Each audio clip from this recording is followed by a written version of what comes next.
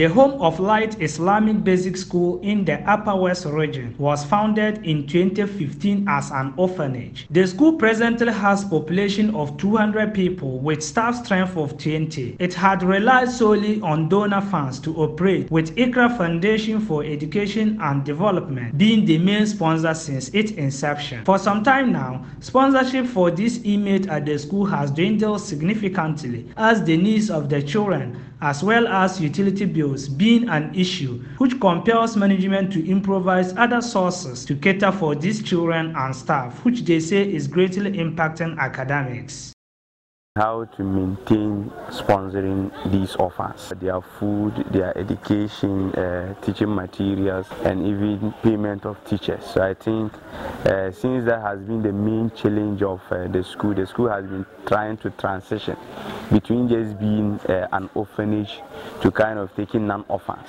people that will come to the school uh, for the day school program, so that they will pay school fees, so that we will be using that resources to help maintain the orphans in the uh, boarding uh, uh, school session.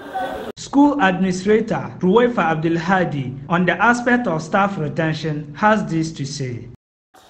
We always have new staff all the time how to maintain and the kind of pay, you know. So that has always been the challenge, the new faces of staff. One day you come, the next day someone have to replace and and for children need one person in a classroom that have to take them through uh, uh, teaching and also day-to-day -day kind of upbringing of, of an orphan. Noting the crisis faced by their school, Sharaf Mahama son of former President John Dramani Mahama, to mark his 27th birthday, extended a hand to the school by giving teaching and learning materials, including food staff, to management. I am very glad to stand on behalf of Saraf to give these items to the management. I would like to also thank the headmaster for how, how far he has molded our children.